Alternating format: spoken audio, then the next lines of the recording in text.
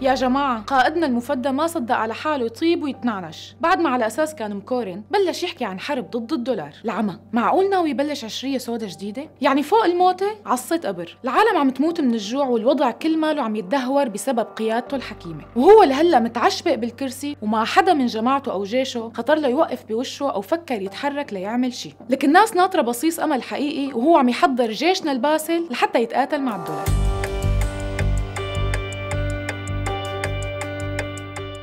صار الصرف معركة. تمكنا من تحقيق إنجازات لم تتحقق سابقا. وبما أنها معركة أو بما أنها حرب وليست معركة فنحن ربحنا.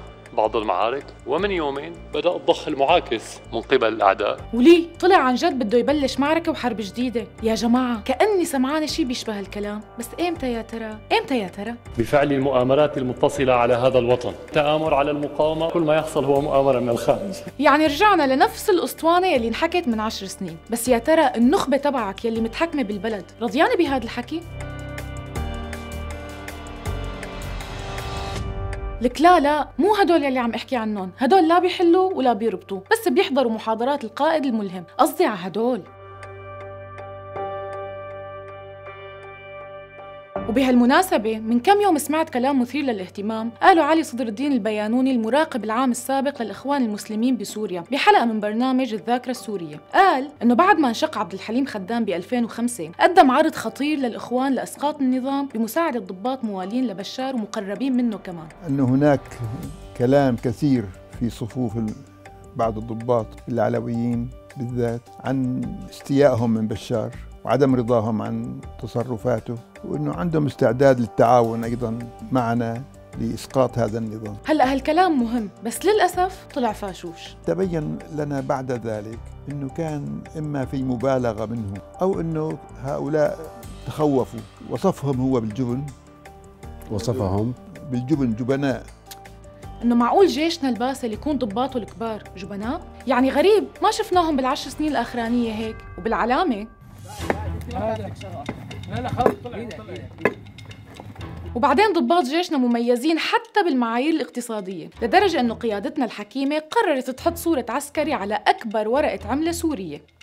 هلا أنا دريت إنه نأجل وضع صورة حافظ جونيور لورقة أدسم يعني على الأغلب ورقة ال 10000 أو ال 25000 باعتبار إنه الخير رايح لقدام. حاصله يا جماعة بعد كل هالمقدمة وقصة حرب الدولار يلي شكلها خلبية يمكن يخطر لكتير سوريين مننا إنه ليش لهلأ ولا حدا من ضباط جيشنا الباسل يلي مفروض بده يدحشن سيادته بهالحرب؟ ولا حدا منهم فكر إنه يغير الوضع بسوريا رغم إنه بلدنا صارت بالحضيض بظل قيادتنا الحكيمة. لحتى نجاوب على هذا السؤال خلونا نروح على العراق وتحديدا بين عام 1991 1990 وعام 2003 بلد منهارة ومحاصرة اقتصاديا وأطفال عم يموتوا بالحضانات وعم يشتهوا اللقمة. وصدام حسين معاند أي حل سياسي يرفع هالضائقة عن العراقيين بهداك الوقت. ورغم هيك الجيش العراقي ما قدر ينقلب عليه رغم أنه جيش خبرة بالانقلابات مثل زميله السوري يعني. فشو اللي خلى هالجيشين يصيروا لعبة بإيدين صدام وحافظ وبشار؟ الجواب ببساطة أنه الجيش ما جيش. يعني ما في تراتبية قيادية حقيقية بالعراق. صدام عمل ثلاث أو أربع جيوش غير الجيش النظامي. عندكم الحرس الجمهوري والحرس الجمهوري الخاص الجيش الشعبي وفدائيو صدام. طبعا هالتشكيلات كلها كانت محشاية بأقارب صدام مشان يحمي حاله من أي انقلاب عسكري ضده.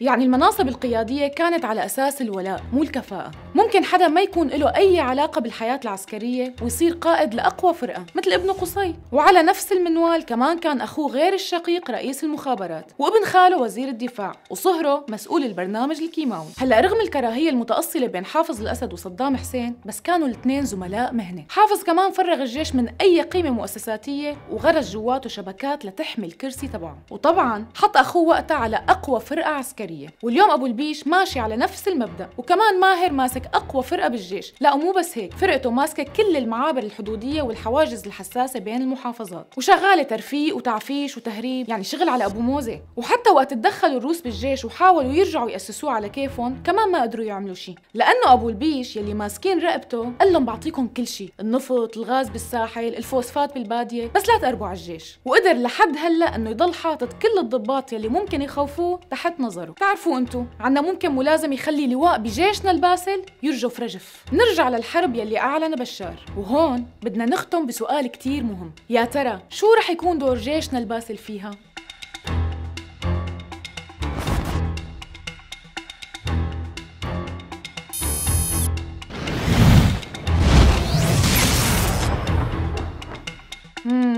شكلها حرب دسمة. الخلاصة إنه ضباط جيشنا الباسل لاقوا مين يقاتلوه يعني مشان ما يقعدوا عطالين بطالين.